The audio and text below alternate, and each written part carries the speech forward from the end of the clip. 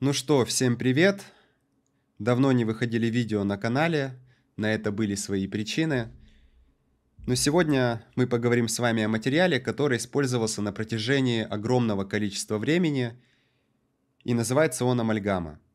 Вообще под амальгамой принято считать сплавы, в составе которого один из компонентов – это ртуть. Пока амальгаму использовали, она никого не оставила равнодушным, ни врачей, ни пациентов. Даже целые государства запрещали ее, а кто-то, наоборот, отстаивал право на существование.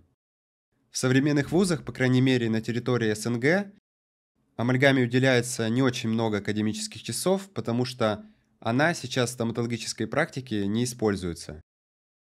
И тратить драгоценное время не очень хочется. Есть темы, которые стоит разобрать более подробно. Вообще, когда я учился на первом курсе, то я про амальгаму, ну, вначале ничего не знал.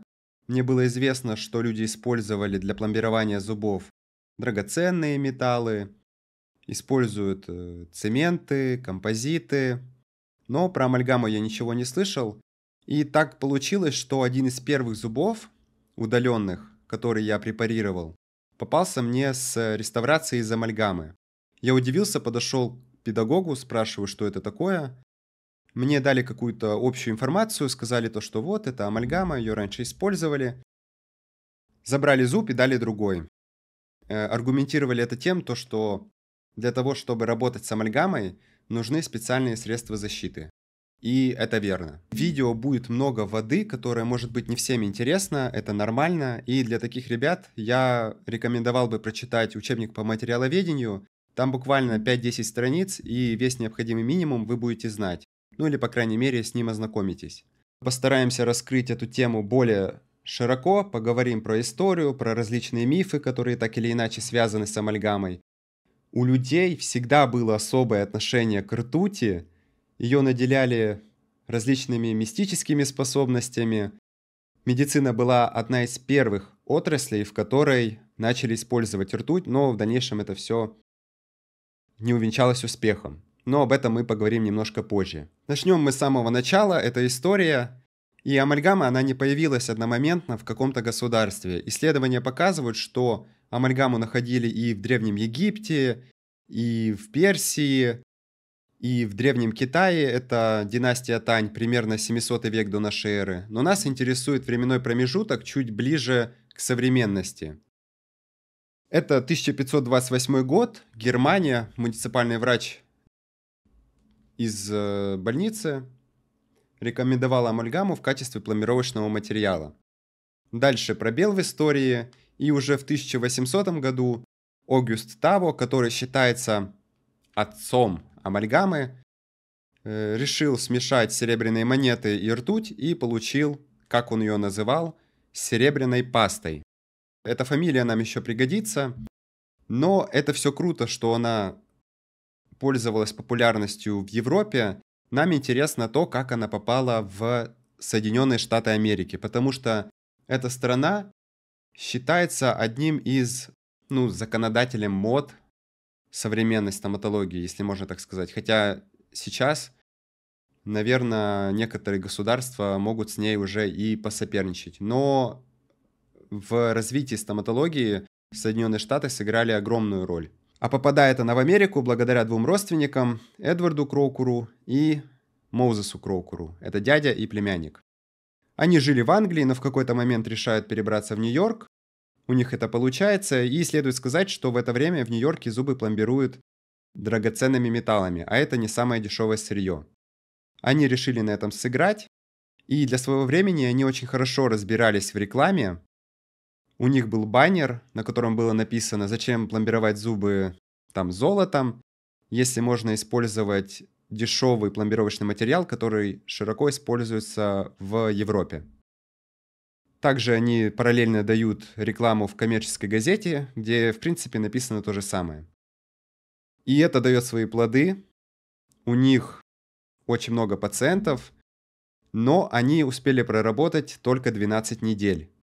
За эти 12 недель, если взять все население Нью-Йорка, и из этого населения взять людей, которые лечили себе зубы, то ровно половина были люди, которые поставили себе пломбы из амальгамы. По некоторым историческим справкам, которые можно найти в интернете, говорится, что за 12 недель они умудрились заработать около 60 тысяч долларов. Если переводить эти деньги на современные, то это где-то полтора-два миллиона долларов. Если перевести их в русские да, рубли, то это 2 миллиона рублей в день. Для терапевтической стоматологии, я думаю, это хороший показатель. Но если все так хорошо, то почему они проработали только 12 недель? Надо понимать, что помимо Крокуров есть еще и другие стоматологи, которые работают в Нью-Йорке. И им очень интересно, что за материал привезли ребята из Европы. Была такая организация, которая называлась Ассоциация хирургов-стоматологов, и члены этой организации решают отправить одного из своих соратников, чтобы он поставил себе пломбу. Кроукуры успешно устанавливают ее пациенту. Пациент возвращается обратно к своим коллегам. И химик выясняет, что в составе пломбировочного материала есть ртуть. Хотя крокуры об этом ни слова не говорили. То есть ни на рекламных вывесках, ни даже среди коллег они не распространялись. И на них заводят уголовное дело, они об этом узнают и спешно покидают Нью-Йорк, возвращаются обратно в Англию. В это время в Америке всячески пытаются очернить репутацию Крокуров, говорят о том, что медицинского образования у них не было, и они были вообще малограмотные. Когда я искал информацию, я наткнулся на один английский сайт генеалогический, где родственник, ну, в 2010 году, по-моему, написал о том, что эти двое были не то что малограмотные, они были очень крутыми врачами еще до того, как попали в Америку. И если вы помните, то мы говорили про француза Огюста Тава, который является отцом амальгамы. Есть сведения, что к нему приезжали какие-то два англичанина, и они представили ему свою разработку, которую они назвали «Королевский сукциданиум». На что Огюстава сказал им, ребята, название дурацкое, оно вообще не отражает действительности. И они уехали обратно. То есть, скорее всего, к нему приезжали как раз-таки кроукуры. Но это не точно, мы в этом никогда не узнаем. Мы возвращаемся обратно в Америку, и там происходит странная ситуация. Члены Ассоциации стоматологов-хирургов поделились на две группы. Одни провели исследование и сказали, что в принципе амальгаму можно использовать, она безвредна. Другие говорят, что нет, она вредная, и это так называемая первая амальгамная война. Те, кто хотел использовать амальгаму, им сказали, ребята, вы из нашей ассоциации выходите. И таких было много. И так появилась Ассоциация стоматологов Соединенных Штатов Америки. Популярная аббревиатура сейчас ADA. Она занимается аккредитацией стоматологов, э, просветительской деятельностью. По-моему, она занимается тем, что выдает сертификаты, что ну, вот эта организация проверила медицинское оборудование. А та, та ассоциация хирургов, она просто распалась. Помимо ADA, была другая организация, она называется Ассоциация канадских стоматологов, которая также проводила исследования, и на основании этих исследований они пришли к тому, что да, амальгаму можно использовать, все окей. Амальгама пользуется дикой популярностью в Соединенных Штатах, Канаде, в некоторых странах Латинской Америки. Понятное дело, в Европе она вовсю играет своими красками. Но возникает вопрос, а почему вообще амальгама? Почему не другой материал? А потому что аналога нет. Во-первых, это дешево. Во-вторых, ближайший конкурент – это композит, а композиты в то время они были не такие прочные. И в-третьих, это ей очень легко работать. Ей работать легко, просто и очень быстро – со временем к врачам начинают обращаться пациенты с жалобами. Это головная боль, головокружение, депрессии. частое обострение хронических заболеваний. И все это они связывают с пломбами из амальгамы, которые им установили ранее. На что крупные организации начинают проводить исследования. Сейчас я зачитаю список этих организаций. Ассоциация Альцгеймера, Американское общество аутизма, Национальное общество рассеянного склероза, Национальный журнал Совета по борьбе с мошенничеством в сфере здравоохранения, Американское онкологическое общество, Волчаночный фонд Америки, Американский колледж медицинской токсикологии, Международная ассоциация стоматологических исследований и даже ВОЗ проводила ряд исследований, которые никак не доказывают, что все вот эти заболевания как-то связаны с пломбами из амальгамы. Был один эксперимент, который должен был расставить все точки над амальгамой.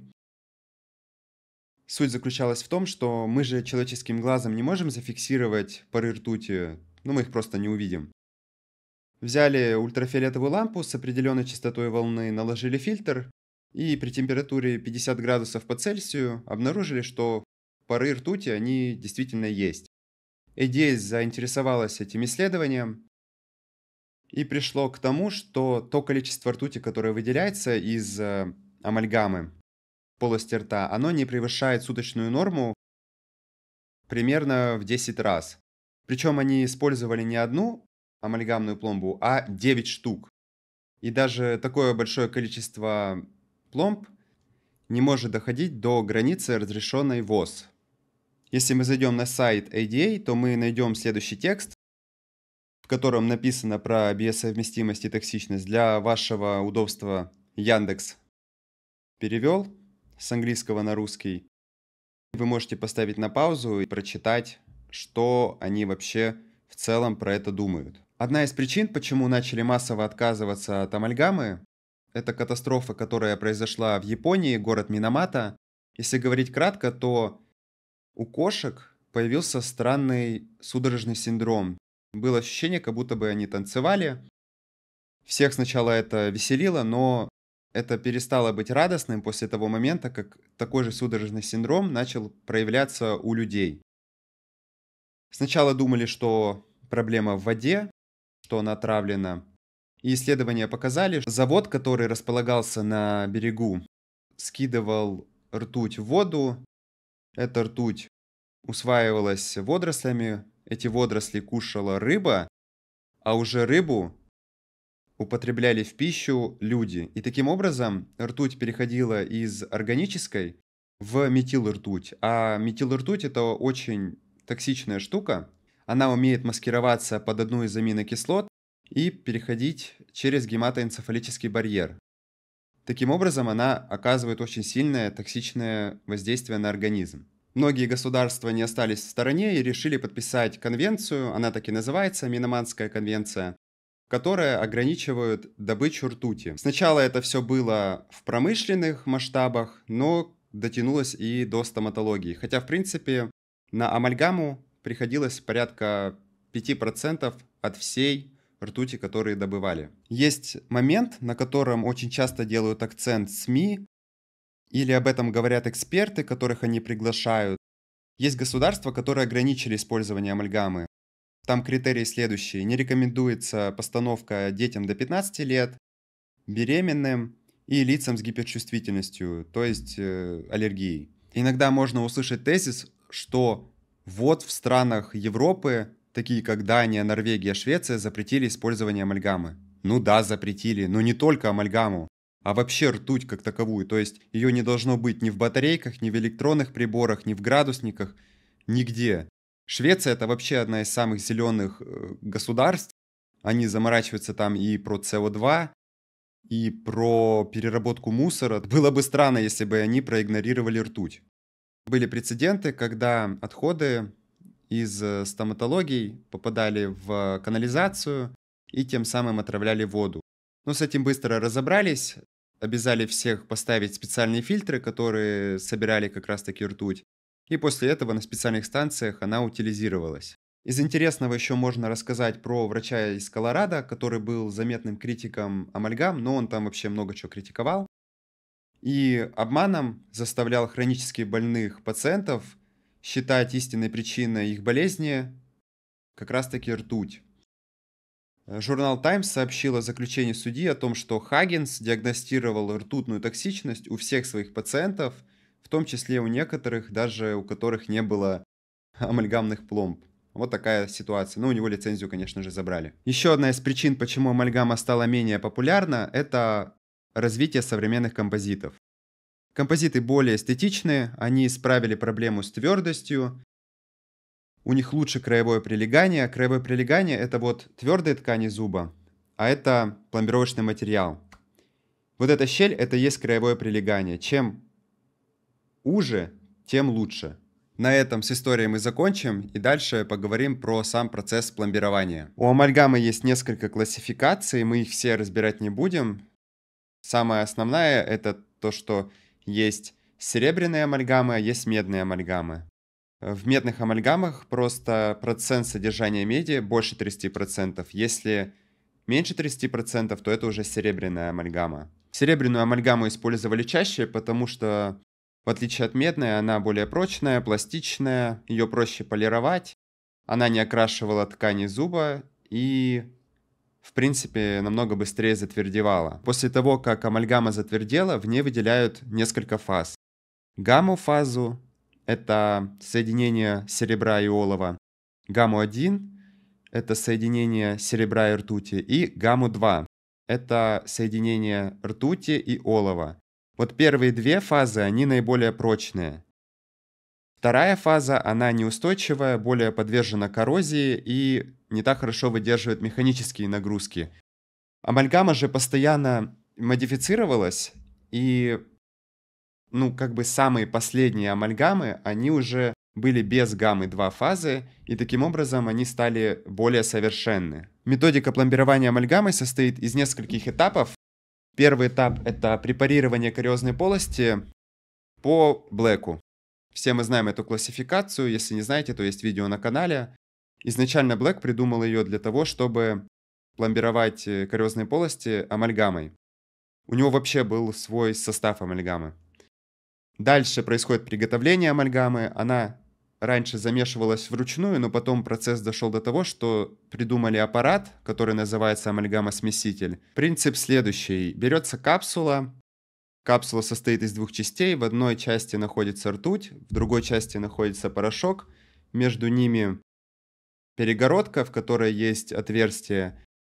Эту капсулу засовывают в амальгамосмеситель, и за 40 секунд она замешивает, и получается уже готовый э, материал, который можно вносить в полость. Следующий этап – это наложение изолирующей прокладки для того, чтобы амальгама никак не оказывала свое влияние на пульпу, на дентин и не окрашивала ткани.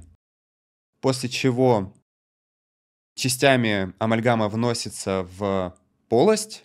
Дальше идет моделирование анатомии зуба. По-другому он называется карвинг. Э, кто катается на сноуборде, знает, что есть такой стиль катания. Это когда ты разрезаешь склон.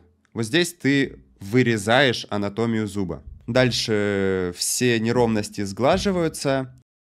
И где-то через сутки ее заполировывают. Ну, некоторые производители допускают э, полировку сразу. На этом видео подходит к концу. Если вы досмотрели до этого момента, то я надеюсь, вам было интересно, вы узнали какую-то новую информацию для себя.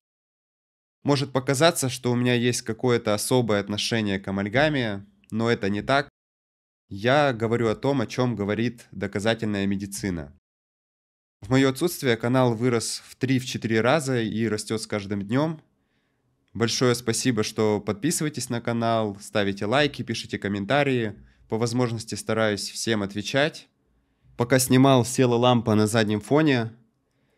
Ну, я думаю, что ничего страшного на качество картинки это не особо должно повлиять. Я с вами всеми прощаюсь. Увидимся в новых видео.